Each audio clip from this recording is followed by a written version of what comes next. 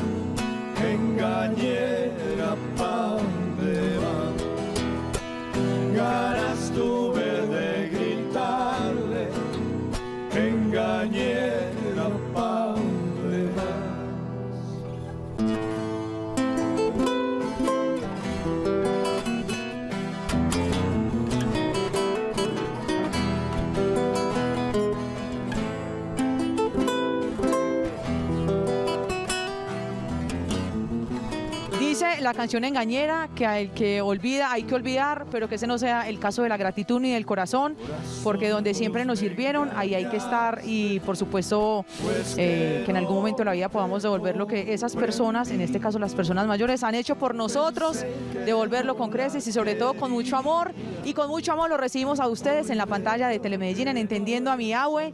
Qué rico que ya están conectados con nosotros, como siempre, para hablar de diferentes temas, para que conozcamos personajes, para que cantemos, para que podamos recordar muchos momentos lindos de nuestra vida, otros que nos llenaron de tristeza, pero esa es la vida y hay que aprenderla a disfrutar.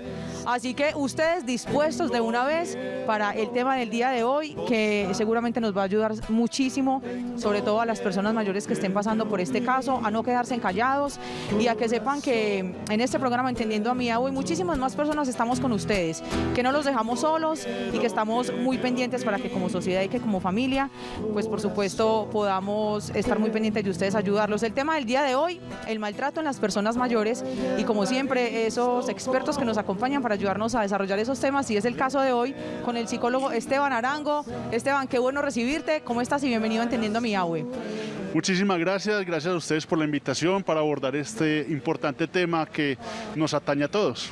Esteban, además porque es un tema muy triste, mm, del que hay veces uno cree que no se da, que no es posible que alguien pueda maltratar a una persona mayor en una edad vulnerable, en una edad de muchísima sensibilidad y sobre todo en una edad hay veces de olvido cómo abordar este tema del maltrato, sobre todo si yo a esta hora estoy en casa y me estoy sintiendo identificado con el tema, ya porque sea persona mayor o porque alguien de mi familia lo esté padeciendo. Claro que sí. El tema del maltrato en adulto mayor se está presentando no solamente en Colombia, sino a nivel mundial. Eh, hay una estadística claro, clara en la que se reconoce que toda la población del mundo, pues como es lógico, va envejeciendo, pero actualmente tenemos un gran volumen de personas mayores. Estas personas, al quedarse en la casa, están sujetos a diferentes tipos de violencia, de maltrato, los cuales llevan a que en silencio tengan que aguantar. Muchas veces el vecino, el familiar o algún conocido ve o atestigua, pero se queda en silencio. lo que lo hace, cómplice. Tenemos que tener en cuenta todo eso. Y porque no nos podemos quedar callados, porque si esto nos ofende, si esto no diere, pues por supuesto hay que denunciar.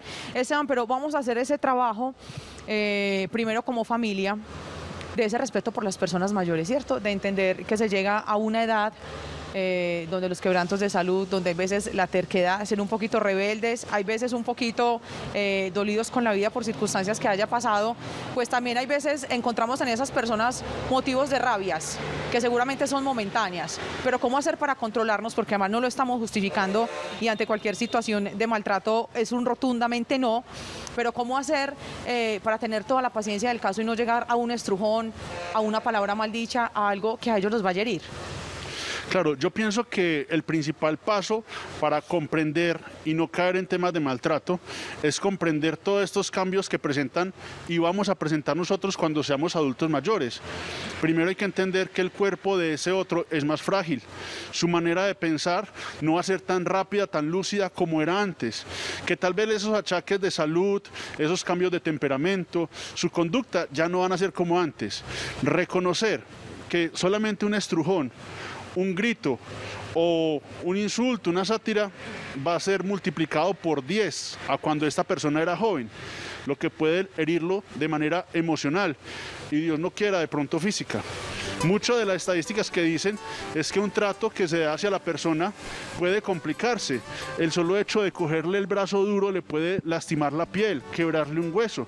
Las personas un poco más sensibles, más delicadas. Entonces yo pienso que si somos conscientes de lo que pasa en el cuerpo de esta persona, lo pensamos bien antes de irlo a maltratar. No es que eso no se nos debe de pasar ni siquiera por la cabeza porque no lo contemplamos, pero sí vamos a hablar de esas señales de maltrato eh, que se pueden presentar y que seguramente usted ha dicho, ay, a mí que siempre me están gritando o a mí que siempre me están jalando de los bracitos, pues ojo, porque usted no está solo y vamos a estar muy pendientes porque realmente hay que denunciar esto, así que Esteban, vamos a hablar de esas clases de maltrato que pueden darse, porque no solamente es el, el que saca el moretón o el que quiebra un huesito, sino que hay otras manifestaciones también de este. Claro, cuando estamos hablando de maltrato no solamente estamos hablando de los golpes, muchas veces estamos hablando de, de maltrato específico como puede ser el maltrato psicológico, el que se va a través de los gritos, de los insultos, a través de la extorsión emocional, a través de las amenazas o incluso de la generación de eventos de pánico, como por ejemplo, eh, te comes esto o te dejamos solo. Eso genera terror a la persona. También hay otro tipo de maltrato que es el maltrato económico y es eh, usar o apoderarse de las propiedades o el dinero de la persona mayor. También hay otro tipo de maltrato que es el sexual, sea porque haya un agresor sexual o porque haya una explotación sexual de la persona mayor.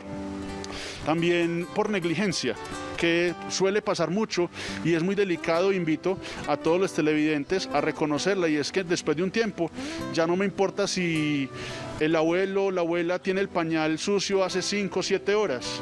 Entonces dejémoslo ahí. No me importa si hoy no le di la medicación. No me importa si se chorreó la comida encima y lo dejo hasta la noche. Eso es negligencia, simplemente porque no quiero o ya no me interesa. Son varios tipos de maltrato. Sobre todo porque ahorita decías una cosa muy importante, Esteban, y es que no se nos puede olvidar que nosotros vamos a ser las personas mayores del mañana. Así que rapidito, rapidito vamos a estar allá y que no quisiéramos que nos hicieran lo mismo, Esteban. Vamos a hablar a esta hora a los televidentes, eh, a las personas mayores, todavía no vamos a hablar de las familias, le vamos a hablar a esas personas mayores que a esta hora están sintiendo, después de todo eso que nos acabaste de contar, que están sufriendo alguna clase de esos maltratos, sobre todo porque siempre va a haber temor del denuncio. Eh, no me refiero a la última instancia de la línea 123 que ahorita vamos a abundar en ella, eh, sino de manifestárselo a otro familiar. ¿Cómo hacer conciencia en esa persona mayor para que a esta hora sin temor, eh, sin sentirse acorralado ni solo, pues pueda manifestar que algo no está funcionando bien y que se siente víctima de maltrato?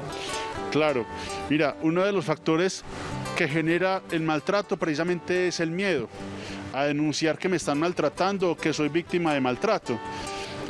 La invitación es a que si estoy reconociendo que mis derechos están siendo vulnerados por maltrato o porque se me niega algún elemento para mi buen vivir, se lo diga a algún conocido, a un vecino, a un familiar. Y si se tienen las facultades en temas físicos y cognitivos, que es otro elemento que tenemos que hablar, pues iría yo a una estación de policía, a una comisaría de familia o llamar, como decíamos ahorita, el 123, que ya trascendemos en ese, pero lo importante es poner en conocimiento a alguien para que me ayuden, no ponerme en la posición de víctima, que es muy clásico, en el cual simplemente me dejo maltratar y ahí queda. Si por el contrario tenemos a una persona mayor en casa dependiente que no tiene esas condiciones ni cognitivas ni físicas para ir a ponerle el denuncio, ¿cómo yo como familiar debo de denunciar eso que posiblemente otra persona está haciendo con la persona mayor? Claro, como mencionaba en un principio, el hecho de no mencionarlo, sabiendo que lo que está pasando te hace cómplice. Si te quedas callado, imagínate que es tu papá, tu mamá o alguien muy querido que están maltratando ¿Tú permitirías que lo hicieran? Por supuesto que no. Entonces, ¿qué pasa? Si no quiero confrontar a la persona que lo está agrediendo o está abusando de él, puedo ir a una comisaría de familia, bienestar familiar, una secretaría de protección social, eh, incluso hasta una EPS, un hospital. Lo importante es activar cualquiera, cualquiera de las líneas o cualquiera de los protocolos de atención al adulto mayor. Medellín cuenta, por ejemplo, con varios protocolos y varios de los municipios del área metropolitana para activar eso. Lo importante es que si usted es testiga o testigo, hagas algo para poder ayudar a esta persona. Esteban, tenemos que terminar esta entrevista con esa línea telefónica para que ustedes la guarden ahí muy cerquita en su libreta y cuando se sientan de verdad lastimados o maltratados por alguien, sin temor de nada, coja su teléfono y denuncie. Entonces vamos a decirla, la línea 123, que es la línea de atención a personas mayores también. Exacto. ¿Líneas sociales? La línea 123, que es de la de, atiende los patrulleros de la policía, y el 123 social. ¿sí? También hay otras líneas que están habilitadas que se relacionan con eh, protección social inicialmente a través de la Secretaría de Protección Social y ya más relacionado con entidades propiamente, por ejemplo aquí en Medellín, Amauta, eh, que es la orientada a trabajo con adulto mayor.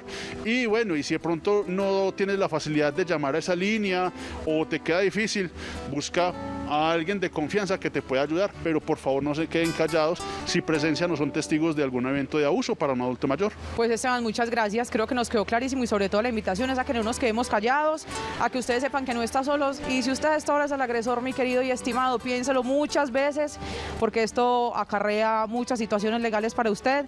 Y no se le olvide que de todas maneras la vida no se queda con nada, así que vamos a proteger a nuestras personas mayores, de verdad hoy con mucha vehemencia lo decimos, de que no hay derecho a que le hagamos esto a estas personas que tanto han dado por nosotros. Esteban, muchas gracias. No, a ustedes por la invitación. Es con mucho cariño, pues vamos a seguir reconociendo personajes que nos encontramos en este camino con Entendiendo a mi Abue y les vamos a presentar a Ramiro Arias. Él es un teso, es un artista plástico justamente de aquí de San Cristóbal y tiene una historia a través del arte para contarnos, así que aquí está en Entendiendo a mi Abue.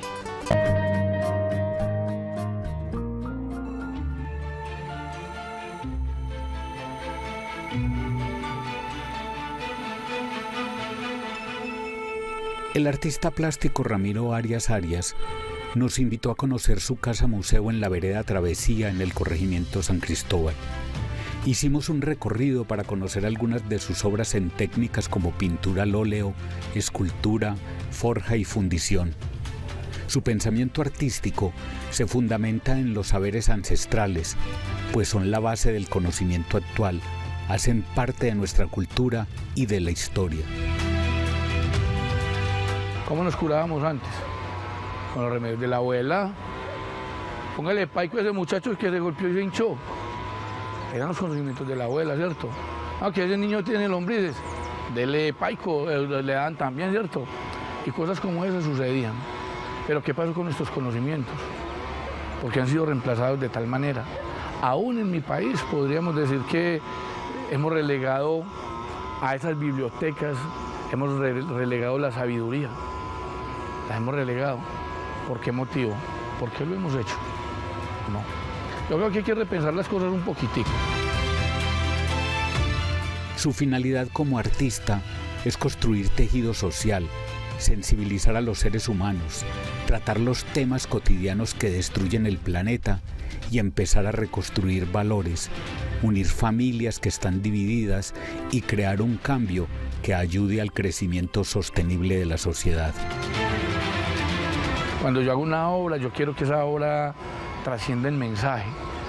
Por ejemplo, yo hago un tanque de guerra y ese, el tanque de guerra representa que está pasando como, como que va pasando, ¿cierto? Pero va dejando tumbas. Entonces yo quiero que la gente entienda que las máquinas bélicas solo se hicieron para matar. Y no es que yo esté en contra de nadie aquí, ni de los militares, no, no. Es solo que a mí no me gusta la guerra. Ramiro es un convencido que este mundo de destrucción en el que vivimos solo lo salva el arte. No pudo la política, no pudo la religión, no pudo la ciencia. No. Pero si nos reunimos todos, tal vez en, el arte encontremos la, encontremos la trascendencia que necesitamos para poder vivir mejor. Porque es que en el arte hay sensibilidad y la sensibilidad se necesita para vivir aquí. Así yo te puedo entender, así yo puedo entender a mis hermanos los humanos, así puedo entender cuando tiene sed, cuando tiene hambre, cuando tiene un dolor. Yo puedo entender muchas cosas, ¿cierto? Pero tengo que tener sensibilidad. El atractivo de este gran laboratorio artístico es la escultura Balance Total, una espada de 12 metros de altura que sostiene dos balanzas, más de 38 mil kilos de acero, hierro y concreto, donde Ramiro suele subirse a reflexionar sobre el desequilibrio en el que vivimos y en lo desbalanceados que estamos al llamar a nuestros mayores viejos. La palabra viejos como algo que ya no, que ya no sirve, que no se usa. No, nuestros adultos no son viejos, son solo adultos, son personas como yo. Y yo tengo 53 años, estoy como un niñito y cuando se tenga 70 va a estar como un niño, más niño todavía. Precisamente con ese pensamiento de ser el niño que quiere aprender a todo momento, Ramiro y su hermano Jaime han construido este lugar mágico y cultural en el que niños, jóvenes y adultos pueden aprender a pintar, modelar cerámica e interactuar con el arte.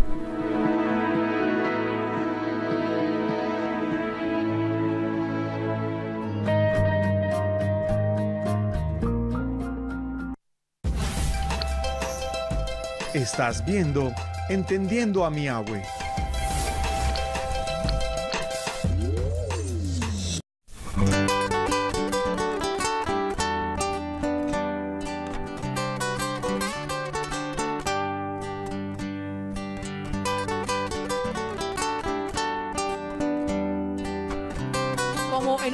exposición en el mundo, no sé, tal vez de un Picasso, pues estoy aquí con unos verdaderos artistas que ya ellos van a enseñarnos su obra. Y mejor dicho, vea, estoy aquí con don Rodrigo, doña Livia, y me recuerda su nombre don Juan Manuel, que él también está allá atrás concentradísimo en su obra, que ya nos van a contar, pero yo sí quiero que ustedes por acá vengan y miren este cuadro de, nuestro amigo, además como cualquier gran artista del mundo, con su firma y su sello además de tirado, pues nos va a contar don Luis Rodrigo cómo va con su obra, eso le está quedando muy bello, ¿cómo está? Muy bien, ¿y ustedes qué tal? Muy bien, muchas gracias. Don Luis, ¿cuánto lleva preparando este cuadro? Que además está muy bello, lo felicito. No, esto es una. Cuando uno arregla un cuadro viejo, ¿cómo se llama eso? ¿Como algo envejecido, será? No. Mm, no. Antiguo. Cuando está antiguo y uno lo va a arreglar porque está... Ah, para restaurar. Eso, lo estoy restaurando. Este cuadro lo pinté yo hace por ahí 20, 25 años. No le creo, pero se ve muy bien. ¿Usted no me cree que ese cuadro tiene 40 años? ¿El de atrás? Mm, y véalo como estaba bien mantenidito, bien bonito, bien fresquito. Venga, don Luis, entonces como ya nos dijo eso, que ese tiene 40 y este 23, ¿cómo nuestros televidentes a esta hora que tienen obras en su casa también que pintaron? Porque sabemos que ustedes son unos tesos con las manualidades y con todo esto que tiene que ver con el arte. Ese truquito, ese consejito que les podemos dar para que ellos también puedan restaurar muchas de esas obras que llevan mucho tiempo y necesitan de pronto una ayudita. Ponerle cuidado de a dónde sacó el cuadro y va pintando lo que se había dañado. Tanto que yo tengo la muestra de este cuadro, aquí está, y restauré hasta donde pude ya no se le puede hacer más nada. ¿Cómo le va a hacer eso le quedó hermoso? Lo felicito, está muy bonito. Doña Livia, venga pues que a usted la tengo por acá. Ella también anda acá entretenida no solo con el celular, sino con esto tan bello que ella está haciendo, porque además estos artistas se están preparando para una próxima exposición que tendrán en unos meses. Y bueno, doña Livia, usted nos va a contar en qué consiste justamente esa exposición pues eh, vamos a exponer las obras que, de manualidades que todos aquí en este hogar eh, tenemos el material para poder aprender y trabajar desde nuestras incapacidades porque eso nos da movilidad, nos da, nos saca del estrés y, y por el derecho estamos aprendiendo arte y el arte es muy hermoso.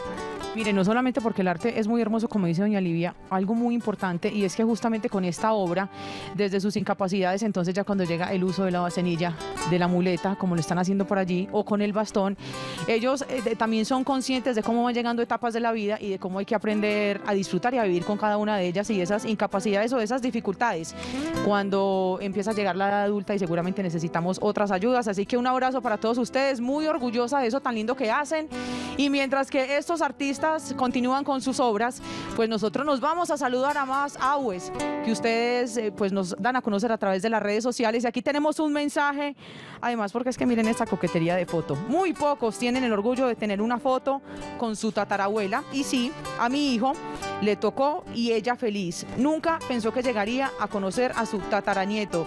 Dice Ana Cris a esta hora mostrándonos a su hijo y a su tatarabuela. Pues qué bonita foto y le mandamos un abrazo gigante a esa tatarabuela por ser tan linda y pues por esa fortuna de haber podido conocer a su, mejor dicho, como se dirá, tataranieto. Ahí está tatarabuela y tataranieto a esta hora, entendiendo a mi ave. Bueno, miren, el tema de hoy muy importante. Bueno, aparte de que hemos tenido grandes artistas como todos ellos, un tema muy importante, el que tratamos hoy, el del maltrato a las personas mayores. Muy pendientes ustedes en casa, si usted lo está viviendo o si algún familiar lo está padeciendo, para que estemos muy atentos y por supuesto, si ellos presentan moretones, ojos eh, de pronto con alguna señal, algún rasguño, algunas marcas que ustedes vean que algo no está funcionando bien, pues es momento de preguntarle qué está pasando. Si hay fracturas, si hay esguinces, si de pronto ve sus anteojos o su dentadura postiza rota, algo está pasando, así que hay que estar muy pendientes de ellos. Muchos síntomas que pueden presentar nuestras personas mayores donde no lo manifiesten, pero que seguramente están padeciendo alguna clase de maltrato, no rotundo y todos muy pendientes para que lo podamos denunciar, así que vamos a ser veedores de ellos. Bueno, y después de todas estas recomendaciones, o más bien de eso que tenemos que estar, vean, muy pendientes, nos vamos a conocer a esos superagues que llegan a esta hora a la pantalla de Telemedellín en Entendiendo a mi Abue. Enia y José, abuelos maternos de Jacob Cardón Arenas, es nuestro primer nieto, con dos años. ¿Tú nos quieres mucho? Sí, bonito. ¿Tú quieres mucho a la abuela? Sí, mamita. ¿Nos vamos de paseo mañana? Sí, paseo. Eso, un abracito especial. Por eso te queremos tanto. Porque celebramos la vida y el aporte que ustedes hacen a nuestras almas y a nuestros corazones, a todos los superaguas del mundo, los queremos muchísimo, a estos acá también que están llenos de arte y de historias. Gracias por habernos abierto ese espacio y por dejarnos compartir un poquito de eso que hacen. Nos vamos con música, mi viejo San Juan, para que a esta hora el corazón cante y el corazón se alegre en la pantalla de Telemedellín. Vean, mm, abrazo apretado desde aquí donde los queremos tantísimo, así que nos vamos con los viejos para que nos vamos con música. Don Luis, un abrazo, está muy linda su obra. ¿Qué digo yo? Que un abrazo también. Un abrazo también, claro que sí. Esto es Entendiendo a mi abue. Tres, cuatro.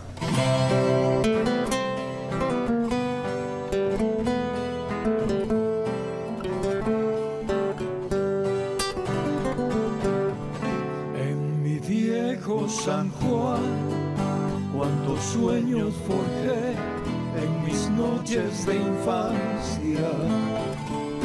Mi primera ilusión y mis cuitas de amor son recuerdos del alma.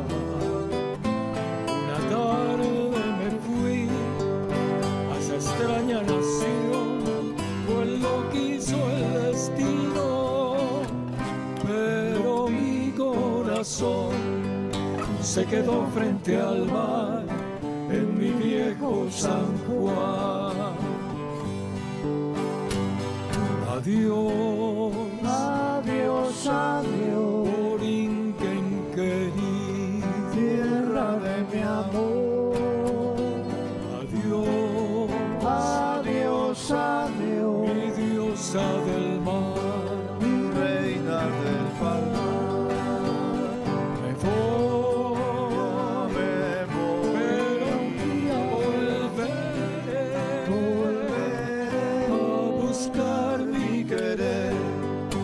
soñar otra vez en mi viejo San Juan. Pero el tiempo pasó y el destino burló mi terrible nostalgia y no pude volver al San Juan que yo amé, pedacito de patria. Mi cabello blanqueo, ya mi vida se va, ya la muerte me llama. Y no quiero morir alejado de ti, Puerto Rico